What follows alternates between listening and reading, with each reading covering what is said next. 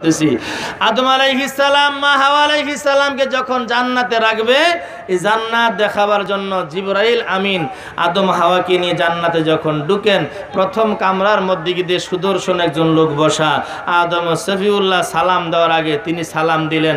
আদম আলাইহিস বলে, জিবরাইল, এই লোকটাকে আদম আলাইহিস সালামকে জিবরাইল বলে, ও আদম সফিউল্লাহ এই লোকটা হলেন আল্লাহ পাকের হাবিব, আপনার সন্তান হিসাবে দুনিয়াতে যাবে, ওনার আসমানে নাম আহাম্মদ, জমিনে হবে মোহাম্মদ। বন্ধুরা, আমার পরিচয় হয়ে গেল। দ্বিতীয় নাম্বার রুমের মধ্যে গিয়ে আরেকজন সুদর্শন পুরুষ, আদম সফিউল্লাহর সাথে সালাম বিনিময় হয়। আদম সফিউল্লাহ বলে, জিব্রাইল এই লোকটা আবার কে?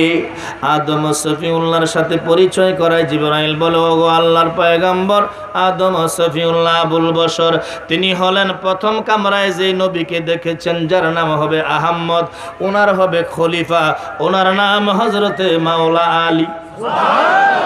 তিন নম্বর রুমের মধ্যে গেলেন সুদর্শন সুন্দর একজন মহিলা বসা আদম সফিউল্লাহ হাওয়া আলাইহিস সালাম প্রশ্ন করে জিবরাইল এই মহিলাকে কি পরিচয়? জিবরাইল আলাইহিস সালাম পরিচয় দিলেন, ও মা হাওয়া, ও আদম সফিউল্লাহ, প্রথম কামরায় যাকে দেখেছেন, ওই নবীর কলিজার টুকরা নাম খাতুনে জান্নাত। দ্বিতীয় কামরায় যে মাওলা আলীকে দেখেছেন, ওনার সহধর্মিনী জান্নাতে রমণীদের সরদার হবে, ওনার নাম হজরতে ফাতেমা। চতুর্থ কামরার মধ্যে যাইয়া দুইজন যুবককে দেখলেন। একজনের গায়ে লাল রঙের পোশাক আর একজনের গায়ে সবুজ রঙের পোশাক। আদম সফিউল্লাহ বলে জিবরাইল এই বালক দয় কারারে আমার মনটায় চাই বুকের সাথে মিলায় আদর করব। ও জিবরাইল কি তাদের পরিচয়? একজনের গায়ে লাল রঙের পোশাক আর একজনের গায়ে সবুজ রঙের পোশাক। জিব্রাইল পরিচয় করায় দেয় আদম সফিউল্লাহ। তারা আপনার বংশ হয়ে দুনিয়ার জমিনে যাবে। কিন্তু আপনি আদমের কোটি কোটি বছর আগে তাদের সৃষ্টি। ও আদম সফিউল্লাহ, যার গায়ের মধ্যে সবুজ রঙের পোশাক, ওনার নাম হলো হজরত ইমাম হুসাইন। যার গায়ের মধ্যে লাল রঙের পোশাক, ওনার নাম হজরত ইমাম হাসান। আমার বাবারা, বন্ধুরা, আদম সফিউল্লাহ বলে, ওদের দুই ধরনের পোশাকের কারণ কি? জিব্রাইল ভবিষ্যৎবাণী বলে দিলেন, আদম সফিউল্লাহ, একজনকে বিস্ফোরণের মাধ্যমে শহীদ করা হবে। আর একজনে কারবালার ময়দানে শহীদ করা হবে।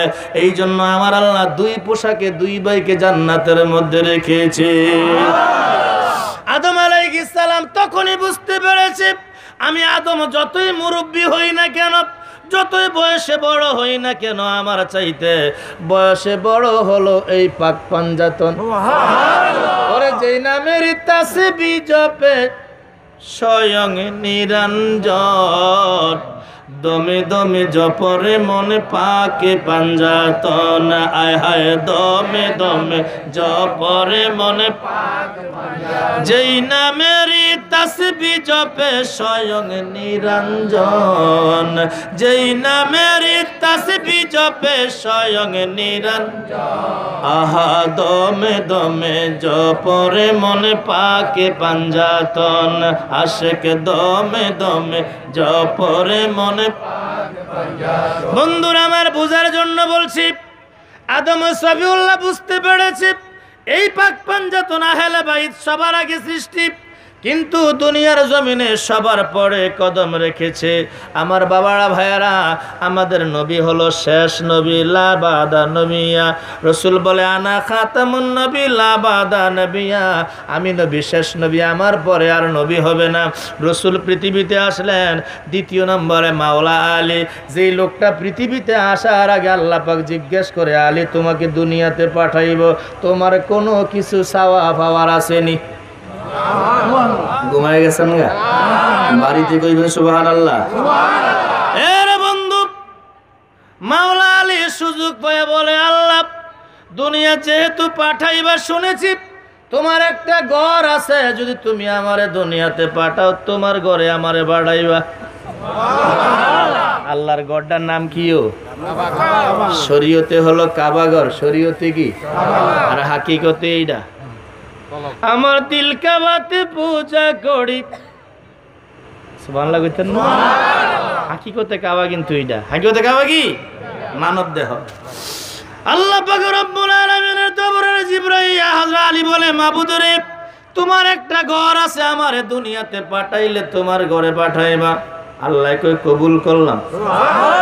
আর সাওয়ার আসেনি যে আলী বলে মাবু দ্বিতীয় নম্বরে আমার চাওয়া। শুনেছি তোমার হাবিব পৃথিবীর জমিনে কদম রেখেছে। আমি দুনিয়ার জমিনে যেহেতু যাব আমি চাই আমার এই দুইটা চোখ খুললা প্রথমে তোমার বন্ধু নবীর নুরানি চেহারা দেখতে চাই। আমার আল্লাহ বলে কবুল করলাম আর কিছু বলবানি হজরতে আলী বলে মাবুদ জগতে পাঠাইলে দুনিয়াতে পাঠাইলে অবশ্যই আমার কিছু খাওয়া দাওয়া তো করতে হবে। কি কোন ঠিক না? সবাই কি না খেয়ে থাকেন নাকি? রিজিক আছে না নাই? আমার যেহেতু রিজিক দিয়ে পাঠাইবা আমি চাই আমার সর্বপ্রথম রিজিকটা তোমার হাবিবের মুখ থেকে আমার মুখে তুলে দিবি। এরে বন্ধু এই পৃথিবীর জমিনে একজন ব্যক্তি নামটা খেয়াল রাখেন। যিনি হলেন মাওলা আলী, যার জন্ম কাবাগরের ভিতরে। এই পৃথিবীতে আসার পর তিন দিন চোখ খুলে না। হজরতে আবু তালেবের স্ত্রী ও বন্ধু যার মার নাম ফাতেমা স্ত্রীর নাম ফাতেমা। ভালো লাগছে ও বন্ধু মার নাম ফাতেমা তিন দিন সন্তান চোখ খুলে না কোনো কিছু খাবার খায় না। তখন আমার নবী শরীয়তে নবুতে নবুয়ত পায় না। কিন্তু হাকিকতে নবী হাকিকতে কি? নবী। শরীয়তে নবুয়ত পায় না। মক্কার লোকেরা আমার নবীকে আল আমিন বলতো। বন্ধুরা আমার জাগের চোখের দৃষ্টি থাকতো না। রসুল মাত্র হাত বোলায় দিতেন। অন্ধ ব্যক্তি চোখের দৃষ্টি ফিরা পাইত আবু তালেবের স্ত্রী এই আলীকে কোলে লইয়া রসুল পাকের কাছে গেলেন। যখন আমার নবীর কোলের মধ্যে দিল সেরে খোদা মাওলা আলী দুই চোখ মেলে আমার নবীর দিকে তাকাইস। দুই নম্বরে আমার রসুল মুখের মধ্যে খেজুর লইয়া চিবাইয়া মাওলা আলীর মুখের মধ্যে দিলেন। ওই দিন থেকে সন্তান ভূমিষ্ঠ হলে তাদের মুখে খেজুর দেওয়া হলো রাসূল। আমার বাবারা ভাইয়ারা বন্ধুরা আলোচনায় যাওয়ার আগে আপনাদের খেদমতে আরজ করব। ওই কাবা ঘরের ভিতরে মূর্তি ছিল তিনশো জোরে কন। সবটি কথা কি আমার দিয়ে কয়বেন নি? এই নিয়ত ফিরে আনছেন। কয়টা মূর্তি আছিল? নবী কিন্তু নবুয়ত পাইছে। শেষ পর্যন্ত মক্কার লোকের যন্ত্রণায় মক্কা সাইরা কই গেছে? তখন কিন্তু কাবাগরে মূর্তি ছিল। কি ছিল?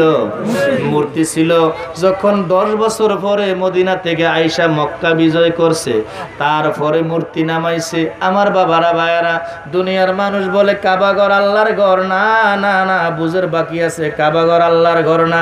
এই কাবাগরের মালিক যখন পৃথিবীতে আইছে, আপনার ঘরের ভিতরে, ও বন্ধু, যুব সমাজ, টাস খেলাইব জুয়া খেলাইব মদ গাজা হিরোইন খাইব আমনে দিবেননি? বুঝা কন? বুঝার কথা বুঝা কন? আপনার ঘরের মধ্যে লুড্ডু খেলাইবো জুয়া খেলাইবো টাস খেলাইবো আপনি দিবেন? মূর্তি পূজা করব দিবেন? তো আল্লাহর ঘরের মধ্যে মূর্তি পূজা করে আল্লাহ কি মরে গেছে?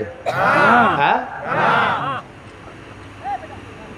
আল্লাহর ঘরে মূর্তি পূজা করে আল্লাহ কই? আসলে এই কাবা আল্লাহর কাবা নাই কাবা ঘর আল্লাহর ঘর না। এই ঘরের মালিক যখন আইছে, আমার রসুল ডেকে বলে, আলী আলী রে, এই ঘরটা পরিষ্কার করো। ভালো লাগে আপনি যদিও ঢাকা থাকেন ফ্ল্যাট নিয়ে আমাদের দেশের মেম্বার, সেভেন এমপি মধ্যে শহরেই থাকে, ঠিক না? মাঝে মধ্যে জনগণের কাজে মাঝে মধ্যে আসে। ও আলী ঘর পরিষ্কার কর। আপনি যদি বছরে একবার গ্রামের মধ্যে আসেন, আপনার বাড়ি ঘর আপনি পরিষ্কার করবেন। করবেন না? পরিষ্কার করবেন। আমার রসুল ডেকে বলে, আলী রে কাবাঘর পরিষ্কার করো, মূর্তিগুলি নামাইতে আরম্ভ করল। হবল নামে একটা মূর্তি কাবাগরের ছাদের উপরে। ও বন্ধু, সাহাবিরে আর রাসূল আল্লাহ কাবাগর তো হলো পঞ্চাশ ফিট উচ্চতা, আমরা তো লাগল পাই না, কেমন করে নামাবো? আমার রসুল বলে, আলী, তুমি আমার কাঁধে ভর করো। ইয়া রাসূল আল্লাহ আমার তো বেয়াদবি হবে, আপনি আমার কাঁধে ওঠেন। আমার রসুল বলে, আলী রে, আমি নবীকে বহন করার মতো লোক পৃথিবীতে এখনও হয় না।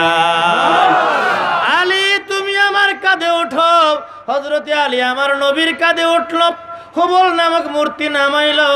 আমার নবী ডেকে বলে, আলী, তোমার কাছে কেমন মনে হচ্ছে? ডেকে বলে আর আল্লাহ হাবিব আল্লাহ আমার কাছে মনে হচ্ছে আরও আজিমটা আমার হাতের নাগালে। ওই ঘরের মালিক যে, মালিক আইসা তারপরে ঘর পরিষ্কার করছে। জোরে করছে মিয়া, আমনের ঘরের মধ্যে আমনের জন্ম, নাকি আমার জন্মই তো যেই ঘরের মালিক, হের ঘরে হের জন্ম হয়েছে সুবাহ কইতে না। আমার বাবারা, ভাইয়ারা, বন্ধুরা, এই মাওলা আলী কি, ওনার একটু সার আলোচনা করে সোহাদায় কারবালার দিকে যাব? আমার নবীর সাহাবিদের মধ্যে সবচেয়ে বেশি হায়াত পেয়েছিল একজন সাহাবি নাম হজরত সালমান ফার্সি রাদিয়াল্লাহ তালানহ এই সালমান ফার্সি আমার রসুলে পাকের খেদমতে যখন আসলেন, একদিন হজরতে আলী এবং সালমান ফার্সি আমার দয়াল নবীজি গভীর জঙ্গল দিয়ে হাঁটতেছে, সামনে আমার রসুল, মাঝখানে সালমান ফার্সি, পিছনে হজরতে আলী। বয়সে সবচেয়ে ছোট, বয়সে কি? বয়সে কি? কিছুক্ষণ পরে পরে সালমান ফার্সির জামা ধরে ধরে টান দেয়। সালমান ফার্সি ডেকে বলে আলী তুমি আমার বয়সে ছোট আমার জুব্বা ধরে টান দাও এটা তো ঠিক হয় না বেয়াদবি হচ্ছে। একবার বলল দুইবার বলল তিনবারের সময় আলী রাখতে বলে সালমান ফার্সি আপনার বয়স কত? কয় তুমি কি জানো না? আমার বর্তমান বয়স প্রায় দেড়শতর উপরে। আলী তোমার বাবার চাইতে বড় আলী বলে সার্টিফিকেট পরে দেন আগে শুনতে চাই। আপনার জীবনে কোনো মরণ স্মরণীয় কোনো ঘটনা আসেনি। সালমান ফার্সি কয়, ঘটনার সঙ্গে এই কাজের আবার কি সামঞ্জস্য? আলী কয়, আছে, আপনি বলেন। ও বন্ধু, সালমান ফার্সি বলে, আলী রে, আমার জীবনে একটা ঘটনা আমার মনে আছে। যেই কথাটা আমার মরণের আগ পর্যন্ত মনে থাকবে, ভুলার মতো নয়। আলী কয়, বলুন দেখি শুনি। সালমান ফার্সি বলে, আমি ইয়াসরিবে, অর্থাৎ মদিনার মধ্যে ইহুদি মালিকের কাজ করতাম, মক্কার জমিনে আল্লাহ রসুল যখন আগমন করে, আমি তৌরাতের মধ্যে নবীর নাম পেয়েছি। তিনি শেষ নবী হবে কোরআশ বংশে আগমন করবে। উনি যখন ইসলাম প্রচার শুরু করে, ব্যবসায়ীদের কাছ থেকে ওনার নাম শুনেছি। আমার মনটা বেকুল হয়ে যায় নবীর কাছে আসার জন্য। আমি যখন নবীর জন্য দেওয়ানা হয়ে যাই, একদিন গভীর রাত্রে ঘুমের গড়ে আমি আমার নবীর দিদার পেয়ে যাই। আলী আমার মালিকের কাছে ইহুদি মালিকের কাছে আমি ছুটি চাইলাম। আমি মক্কায় আসব ইসলাম গ্রহণ করব। আমার মালিক ইহুদি ছিল সে বুঝতে পাইরা আমাকে দুই দিনের ছুটি দিছে। অথচ মক্কা থেকে মদিনার দূরত্ব সাড়ে চারশো মাইল। হাইটা গেল কমপক্ষে এক সপ্তাহ দরকার। কয় সপ্তাহ? সময় দিছে কয়দিন? আলী রে আমি নৈরাশ হই নাই নার্ভাস হই নাই। এই দুই দিনের মধ্যে একদিনে যাব আর একদিনে আসব। আমি রওনা করলাম মক্কার উদ্দেশ্যে। সকালবেলা বেরো হলাম। সন্ধ্যা যখন হয়ে যায়, বেলা যখন অস্ত হয়ে গেল গিরিপথ, আমার ডাইনে পাহাড়, বামে পাহাড়, গিরিপথ দিয়ে আমি রওনা করছি আলী। অন্ধকারের মধ্যে তাকায়া দেখি রে, আমার সামনে বিশাল বড় একটা বাঘ দেখা যায়। আমি বাঘ থেকে আত্মরক্ষা করার জন্য পেছন দিকে দৌড় দিলাম। তাকায়া দেখি পেছনে একটা বাঘ, নিরুপায় হয়ে গেলাম, কোন দিকে যাব? হঠাৎ করে তাকায়া দেখি আমার সামনে একটা বৃদ্ধ লোক। এই বৃদ্ধ লোকটাকে দেখে একটু সাহস পাইলাম, কিন্তু লোকটার এমন একটা কারামত দেখাইল, ওই দুইটা বাঘ ডাক দিয়াই না, আলী রে, আমার কাছে মাপ চাওয়াইল। আর লোকটাই বলল, বাঘ, তোমরা শিকার করবা, তোমরা খাইবা। তোমরা কি জানো না, লোকটা নিয়ত করছে, নবীর কাছে কালেমা পড়ে মুসলমান ওই দুইটা বাঘের গালে থাপ্পড় দিল, দুই বাঘকে দুই দিকে বিদায় করে দেয়। আলী জীবনের সব কিছু বলতে পারব। ওই দিনের ঘটনা আমার কাছে ভোলার মতো নয়। আলী রে, লোকটা আমাকে মক্কার পথ দেখাইল। আমি চোখের পলকে সাড়ে চারশো কিলোমিটারের পথ আমি মক্কায় চলে এসেছি।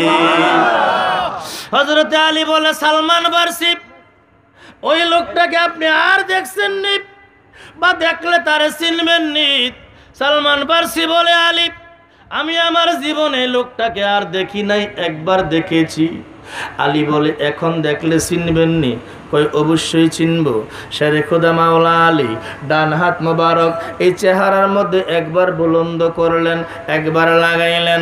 সালমান পার্সি ডেকে বলে, আলী রে, আল্লাহর কসম করে বলি, যার হাতে আমার প্রাণ, নবীর কসম করে বলি, যার হাতে হাত রেখে মুসলমান হয়েছি আলী, ওই দিন যে বৃদ্ধ লোকটা আমাকে বাঘের হাত থেকে রক্ষা করেছে।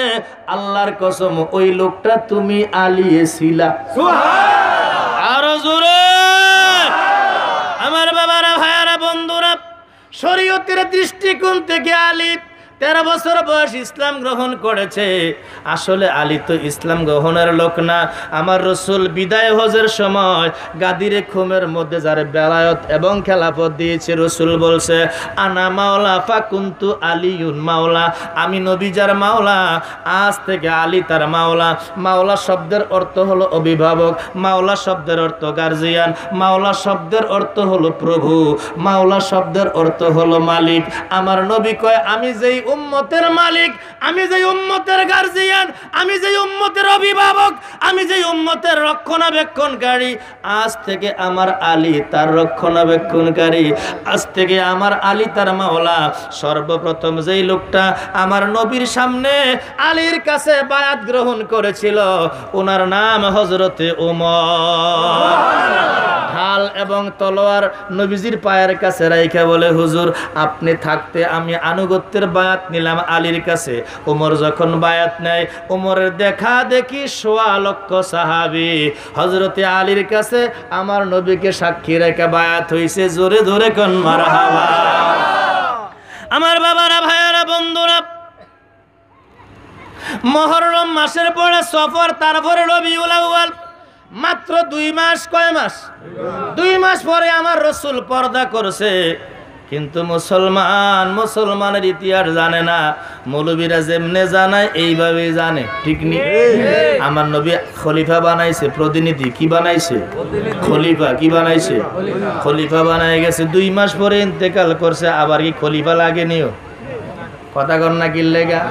উচিত কথা কইলে সাতপুরের হুজুরে বালানা দুই মাস আগে খলিফা বানাইছে সোয়া লক্ষ সাহাবি। যারা আনুগত্যের বায়াত নিয়েছে দুই মাস পরে আমার রসুল অপাত হয় ইন্তেকাল হয়। আবার তো নতুন করে খলিফার প্রয়োজন হয় না। কিন্তু ইসলামের ইতিহাসের মধ্যে পাওয়া যায় প্রথম খলিফা আবু বকর দ্বিতীয় হলো ওমর তিন নম্বরে হলো তিন নম্বরে হলো কি? ওসমান চার নম্বরে আলী। এর এক বেটা কি সকল তো সুবহানাল্লাহ কয় হ্যাঁ? নবীজি দিয়া গেল কি? বিদায় হজের সময় কারে খেলাবত দিয়া গেল? হ্যাঁ? আরে কথা কানা ভুল কইলে আমার না ধরব। আমনা করে ধরব। শাস্তি হইলে আমার নইব।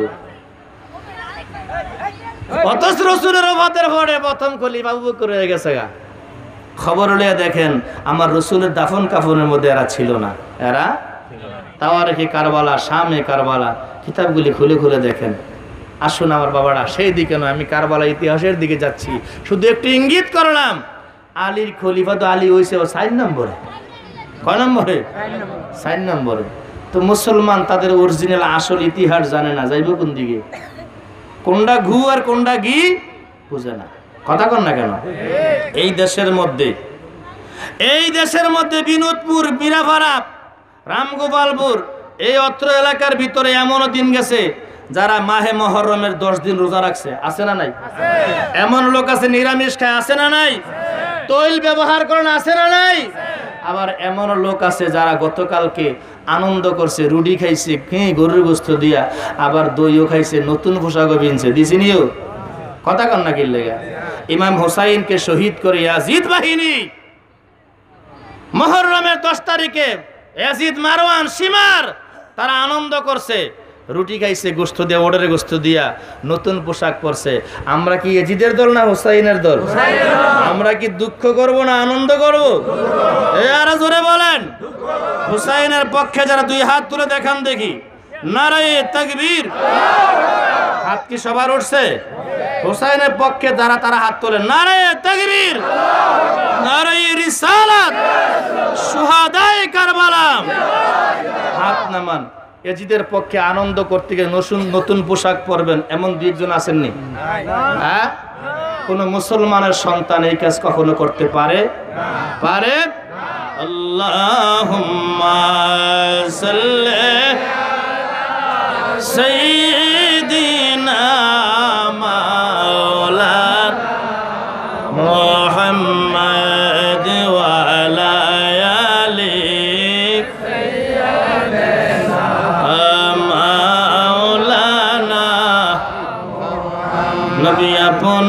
আপনাকে পাইল যারা?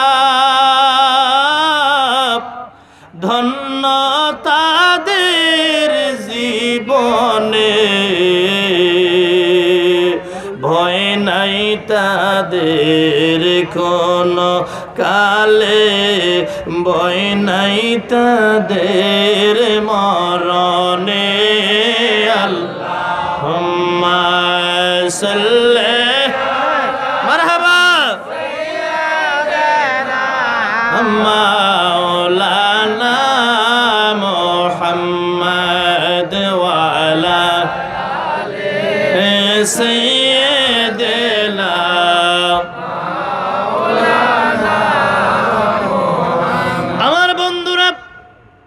যতটুকু আলোচনা করেছি আমার পূর্বে ওই আলোচনার পর থেকে আমি গুনাগারের সোহাদায় কারবালার আলোচনার দিকে যাচ্ছি।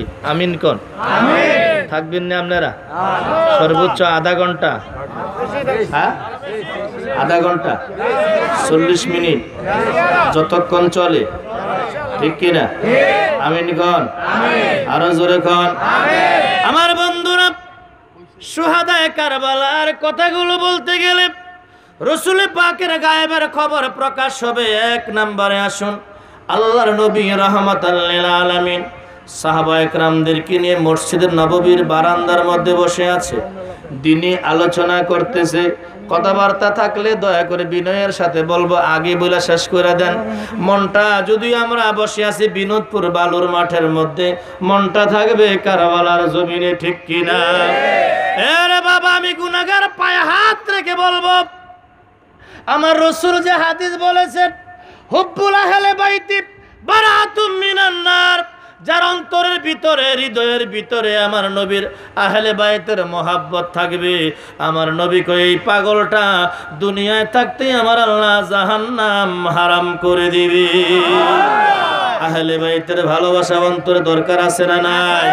এই আহলে বাইতের ভালোবাসা নিয়ে দয়া করে মেহরবানি করে বসুন। কোনো আওয়াজ নয় কথাবার্তা নয়। পারবেন না সবাই?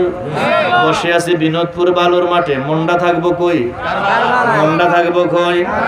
আমার বন্ধুরা নবী আমার দিনে আলোচনা করতেছে সাহাবিদেরকে শিখাইতেছে এমন সময় হজরতে জিবরাইল আলাইহিস সালাম আমার নবীর দরবারে সালাম দিচ্ছে, সকলে দেন, আসসালাতু আসসালামু আলাইকা ইয়া রাসূলুল্লাহ।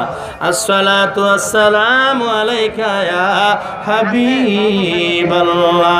আসসালাতু আসসালামু আলাইকা ইয়া শাফিয়াল মুজনাবিন।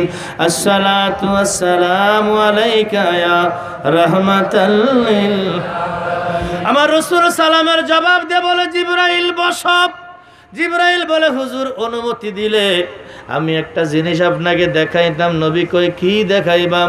জিব্রাইল আলাইহিস সালাম মসজিদের নবমী মদিনাতুল মোনাওয়ারা থেকে ইরাকের জমিনে হাত বাড়াইল সাড়ে সতেরোশো মাইল দূরে। কয় মাইল? এত লম্বা হাত, ভয় পাইছেন না আপনারা? জিব্রাইল বড় না আমার নবী বড়? জোরে খন। আরে জিব্রাইল তো না, আমার নবীর উম্মতের সমতুল্য জিব্রাইল না, চিল্লায় এখন আল্লাহ আকবার। অনেকে বলে কি রে হুজুরে কি পাগল হয়ে গেছে গানি না পাগলই নাই। মানুষ যখন একটা লোকের দেখে কই লোকটা ফিরিস্তার মতো। কয়নিও এই এটা কয়ে তার সম্মান কমাইছে। কারণ আল্লাহ বলতেছে লাকাদ খালাকনাল ইনসানা ফি আহসানি তাকওয়িম। উত্তম চরিত্র দিয়ে আশরাফুল মাখলুকাত হিসাবে যারা বানাইছে সেটার নাম মানুষ। এটার নাম কি? না ফেরেস্তার কথা কইছে। জোরে করার নাম কি? মানুষ আশরাফুল মাখলুকাত সৃষ্টির শ্রেষ্ঠ জীব নাকি ফেরেস্তা শ্রেষ্ঠ জীব? তো লোকে যে কয় হ্যাঁ রে ফেরেস্তার মতন লাগে। তো সম্মান কি বাড়াইছে না কমাইছে? হ্যাঁ? কিন্তু হেবারটা হুইল্লা ফার্ম হয়ে গেছে। দেখবেন আমগো দেশে আছে যদি খালি একজন জানোয়ার কোন জানোয়ার কইলে রাগ হইয়া লুঙ্গি ছিড়া লাইব। কথা কর না কা? কিন্তু টাইগার কইলে হ্যাঁ খুশি। টাইগার কইলে কি? খুশি। আচ্ছা টাইগার কি জানোয়ার না অন্য কিছু? হ্যাঁ? ওই হ্যাঁ বাংলা দিয়ে কইলে রাগ হয়ে যাবে ওগা। কিন্তু ইংলিশ দিয়ে কোন টাইগার দেখবেন হ্যাঁ খুশি হায় রে। ফগড়ে টিয়ে আপনার চা খাওয়াইব। কোনটা বুঝছে? কিও এর সে মূর্খর জগতে আসেনি। কথা কর না কা আমরা একটা দরে কথা কর না মনে হয়। ভয় পাইতেছেন? ফেরেস্তাদের শ্রেষ্ঠ হলো কি? মানুষ কি? মানুষ। আশরাফুল মাখলুকাত। সাড়ে সতেরোশো মাইল দূরে হাত বাড়াইছে। কয় মাইল দূরে? সাড়ে সতেরোশো মাইল দূরে। ওনার কথা কোয়ার আগে আমার নবীর ছোট্ট একটা কথা কই নবী জুমার দিন খুতবা দিতেছে সাহাবিগের দিকে ছায়া এমন সময় উপরের দিকে হাত বাড়াইয়া এক থোকা আঙ্গুর ফলাই না মেহরাবও রাখছে। মসজিদে কি আঙ্গুর ফল ধরে? আপনার এলাকায় পাওয়া যায়? সাহাবিরা ছায়া রয়েছে কি রে ঘটনা কি? খুদ্া হয়েছে জুমার নামাজ হয়েছে নামাজ শেষ সাহাবিরা বাইর যাইব সব দাঁড়ায় রয়েছে ইয়া রাসূলুল্লাহ জীবনে কত নামাজ পড়লাম এমনি আঙ্গুর ফল আনতে দেখি নেই আঙ্গুর ফল কোথেকে আনছেন? নবী কয় সাহাবিরা তোমরা হলো আল্লাহর ঘরের মেহমান। তোমরা কার ঘরের মেহমান? তোমাদের ফেডে ক্ষুদা এজন্য আমি নবী জান্নাতুল ফেরদাউস থেকে আঙ্গুর ফল আনছি। করতে আনছে? এটা কয় মাইল দূরে কেউ মাপতে পারবেন নি? হ্যাঁ? তোমার লাইগা বানায়াছি। আমার আল্লাহ সারাটা দুনিয়া গো নবীজি। নবী তুমি নবী উলাম্বিয়া বলেন নবী তুমি নবী উলাম্বিয়া বলেন নবী তুমি উলাম্বিয়া তোমার লাইগা বানায়াছি। আমার আল্লাহ সারাটা দুনিয়া গো নবী। নবী তুমি নবী উলাম্বি। বলেন নবী তুমি নবী উলাম্বি। জাহান্নামের গেইটে গো নবী থাকিবেন দাঁড়াইয়া গো নবী থাকিবেন দাঁড়াইয়া গুণাগার উম্মতের আনবে উদ্ধার করিয়া গো নবী তুমি নবী। বলেন নবী তুমি নবী উলাম একটু কি মার হাবা বলা যাবে? এরে বন্ধু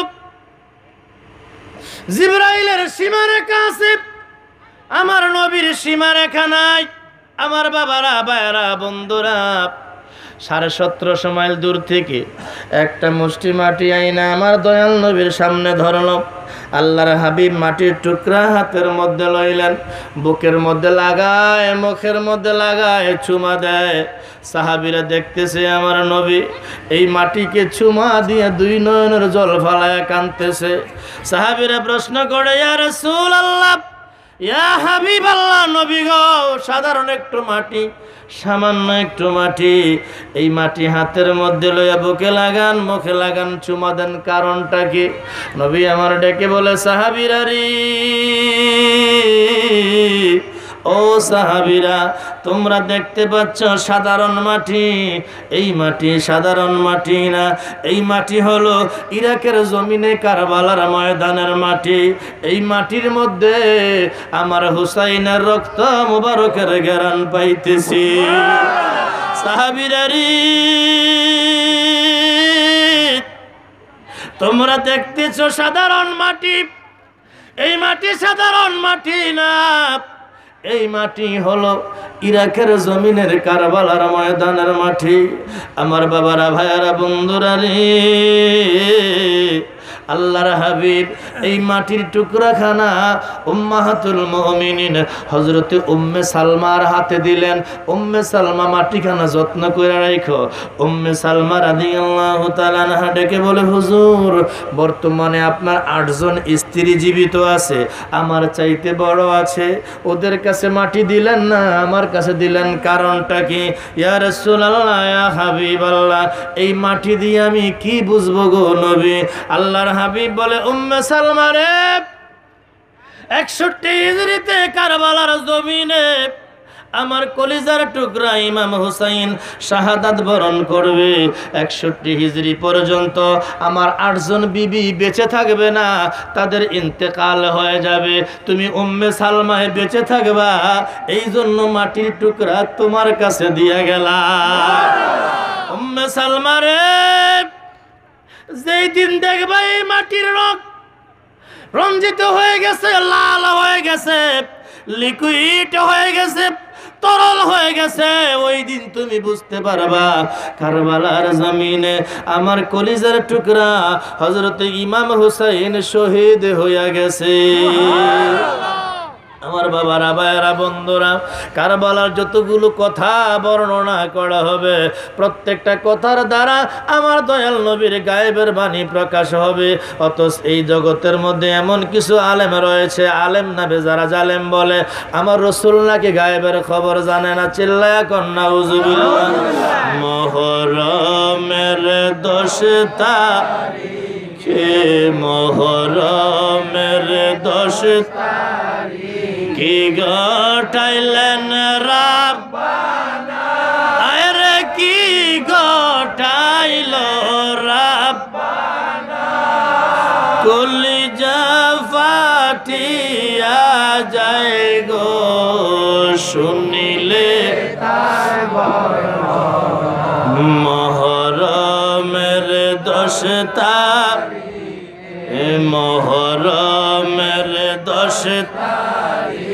কে গটাইলেন রাব্বানা আরে কি গটাইল রাব্বানা কলিজা ফাটিয়া যাই গো শুনিলে উম্মে সালমা মাটিখানা যত্ন করে রাখো উম্মে সালমা রাদিয়াল্লাহু তাআলা আনহা ডেকে বলে, হুজুর, বর্তমানে আপনার আটজন স্ত্রী জীবিত আছে, আমার চাইতে বড় আছে। ওদের কাছে মাটি দিলেন না, আমার কাছে দিলেন কারণটা কি? ইয়া রাসূলুল্লাহ, ইয়া হাবিবাল্লাহ, এই মাটি দিয়ে আমি কি বুঝব গো নবী? আল্লাহর হাবিব বলে, উম্মে সালমা রে, একষট্টি হিজড়িতে কারবালার জমিনে আমার কলিজার টুকরা ইমাম হুসাইন শাহাদাত বরণ করবে। একষট্টি হিজড়ি পর্যন্ত আমার আটজন বিবি বেঁচে থাকবে না, তাদের ইন্তেকাল হয়ে যাবে।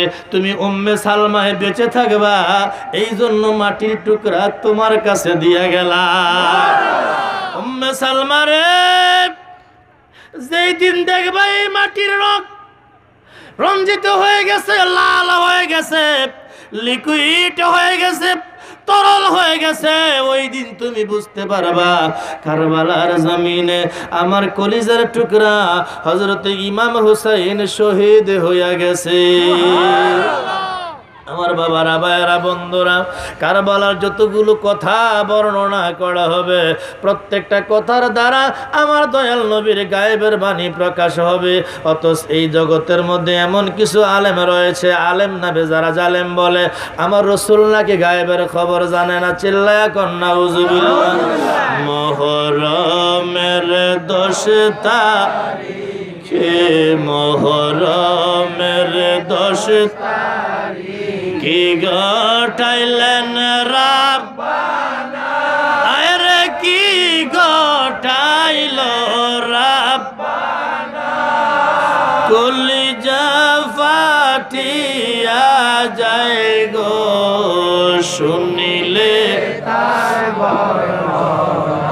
মহরমের দশতা মহরমের দশতা কি গটাইলেন রাব্বানা আরে কি গটা